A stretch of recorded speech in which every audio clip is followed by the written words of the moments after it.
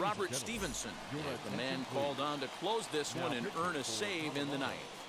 Number 29. Digging in will be Frank Thomas, He's got an RBI despite an 0 for 2 effort to this point. Oh, and he got a pitch to handle as this ball is hit high in the air and deep.